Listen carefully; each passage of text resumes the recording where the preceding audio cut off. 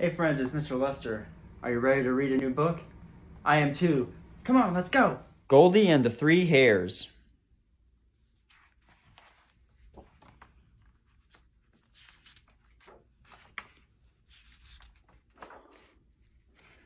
Papa Hare, Mama Hare, and little baby Hare, also known as Bunny, were enjoying a quiet, peaceful, lovely day at home down their rabbit hole.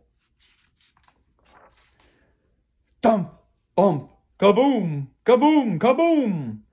That was not quiet or peaceful. Get me out of here! And that didn't sound lovely. What was that? said Papa and Mama. Quick to the door ran Bunny. A foot, he cried, peeking through the tiny window. A big little foot that belongs to a big little girl who fell down our rabbit hole and landed splat on our door stoop. I said, get me out of here!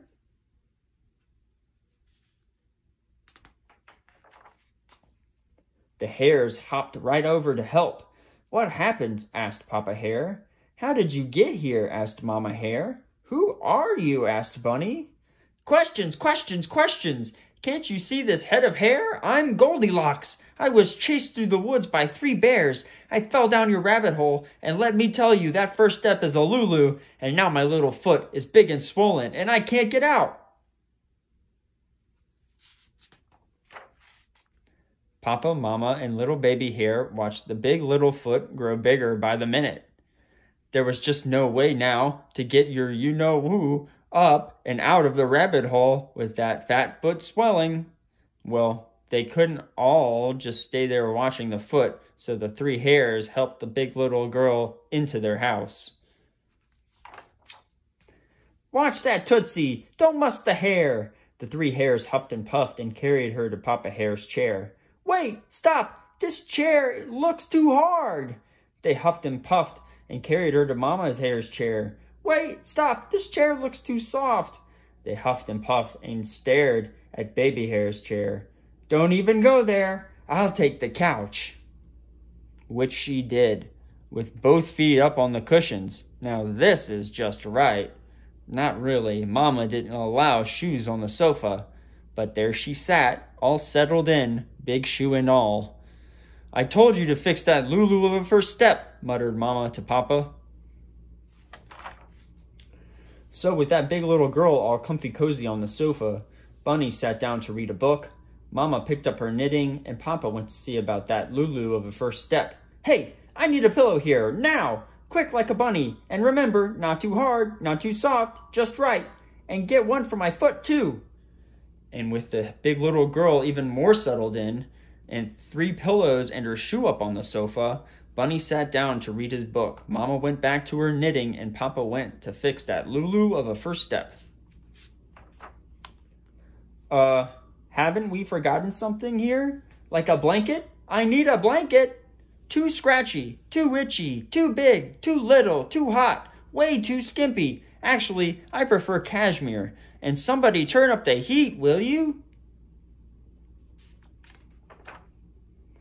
Okay, where's the clicker? Who's got the remote? What? No cable? You, baby bunny ears, go stand by the TV so I can get a better picture. Perfect. Don't move a muscle. Oh dear, said Mama. I don't believe Bunny can stay like that for very long. Luckily for the hares, the big little girl felt so comfy cozy and the TV program was so long and boring she fell sound asleep. Mama sighed. How are we ever going to get her to leave? Papa came up with a marvelous plan. When you know who wakes up, she's going to be hungry. We're rabbits. All we have to eat are vegetables. Give her some carrots, spinach, and a little bit of cabbage, and she'll be running for the door, big foot and all, before we know it.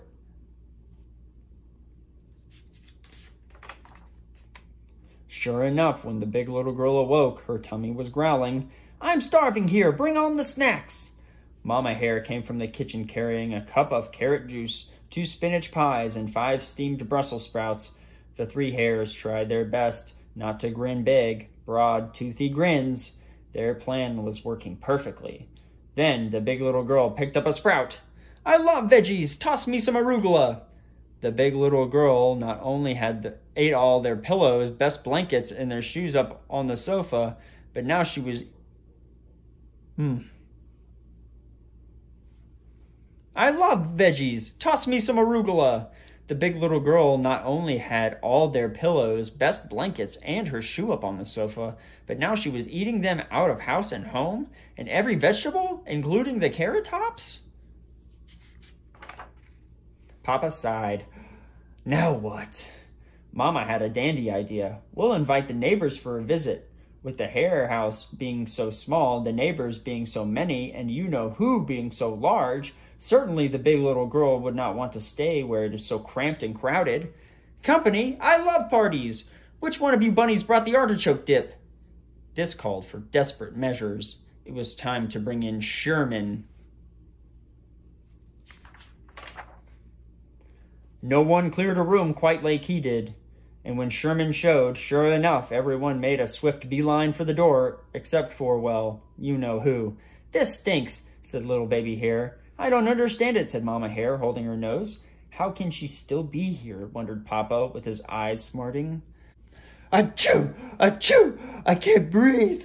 My nose is stuffy, and I can't smell a thing. I think I caught a cold from this drafty rabbit hole. I gotta get to bed and stay there until I get all better.